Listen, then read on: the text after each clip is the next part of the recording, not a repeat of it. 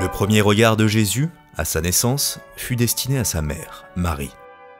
En ce Noël, que l'enfant Dieu fasse sentir en votre cœur et en celui de chacun des membres de votre famille les plus chéris la même tendresse par laquelle il enveloppa Marie, en ouvrant les yeux et en contemplant pour la première fois la face virginale de sa mère.